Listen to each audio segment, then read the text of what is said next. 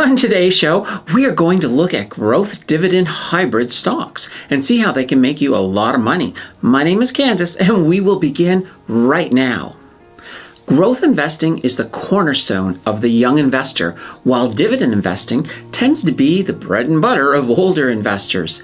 These are two different investment styles with different considerations when it comes to playing the market.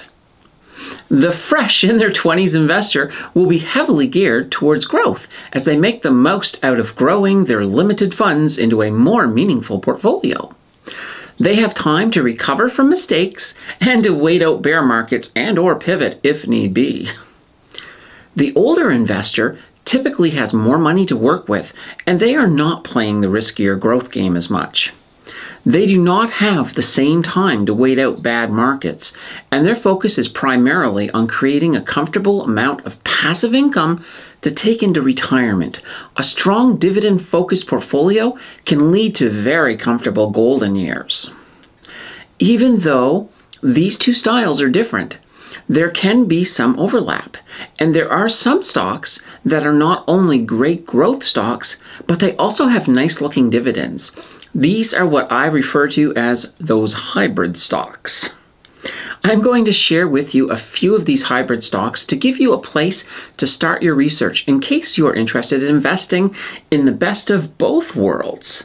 The specifications I am looking at for a hybrid stock is that they need to have a dividend yield of greater than 4% and they need their growth for the previous year to be more than 10%. Keeping that in mind, let's look at a few of these hybrids. Up first, we have TC Energy Corporation, who has a ticker of TRP. They are an energy infrastructure company with pipeline and power assets throughout North America. We will begin with their dividend yield, and it is 5.388% in the form of a quarterly dividend of 90 cents per share. Their growth for last year was 19%. That makes their total ROI, return on investment, 24.4%. That is not too shabby. With the energy sector forecasted to do well in 2022, this will be a company that could do even better over the next year. I am very bullish on the energy sector, so let's take a look at another energy company.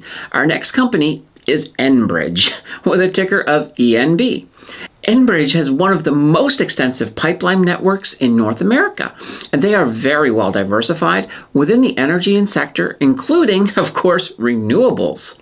So, they have a dividend yield of 6.546% in the form of a quarterly dividend of 86 cents per share. Their growth for last year was 29%, and that places their total ROI at 35.5%. That is really not bad at all. For our next company, we're going to move into the financial sector, and we will start with Timbercreek Financial. Their ticker is TF, and they are a real estate lender specializing in commercial and residential real estate. Their dividend yield is a nice looking 7.099% in the form of a monthly dividend of 5.8 cents per share. Their growth for last year was 13%, which gives them an ROI of 20% for the last year. They really are a nice, easy investment to add to either a growth or dividend focused portfolio. Staying in the financial sector, our next company is a bank. you knew there had to be a bank, right? So we have the Bank of Nova Scotia with a ticker of BNS. They are one of Canada's big six, and as you all may remember, the Big Six all raised their dividends at the end of 2021, and many have announced buybacks that will pump their growth in 2022. So, Bank of Nova Scotia has a dividend yield of 4.35% in the form of a $1 per share quarterly dividend. Their growth for the last year was a very respectable 34.6%, making their ROI for the last year 39%. This is absolutely fantastic, and in a blue chip company as well. Let's shift over to the industrial sector, and that's going to take us to Exchange Income Corporation with a ticker of EIF. They are a diversified acquisition corporation focused on the aerospace and aviation industry. They have a dividend yield of 5.128% in the form of a monthly dividend of 19 cents per share. Their growth for the last year was 28% for an ROI of 33%.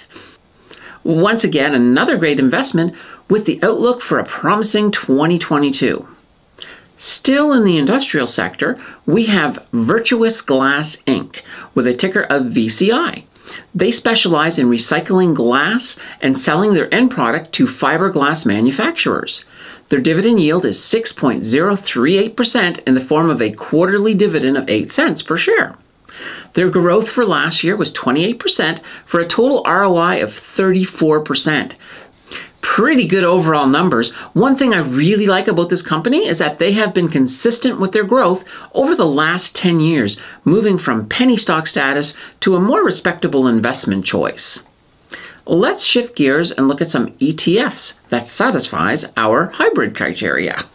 We will start with the Evolve Innovation Index Fund with a ticker of EDGE. I guess they're on the edge.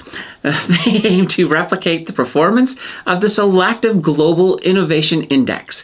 Their dividend yield is 11.763% in the form of a quarterly dividend of $5.03 well, actually $5.03.7 to be exact per share.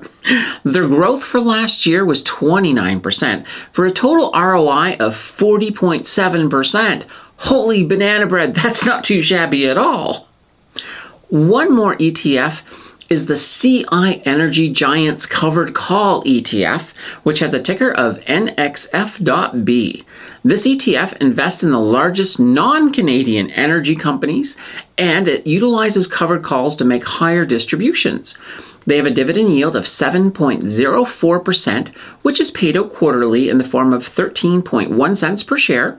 Their growth for the last year was 48.9% for a total ROI of 55.9%. Yep, that's definitely not bad at all. We can easily see by these examples that there really is some great hybrid stocks out there to satisfy all of your dividend and growth needs at the same time. Of course, remember that I am not a financial advisor and am merely the beginning of your research, while a financial advisor is the end. If you guys loved this video, be excited. There is more to come. Until then, why not watch one of these videos? And before you jump into that content, just be sure to like and subscribe to support the channel. I'll see you in the next video.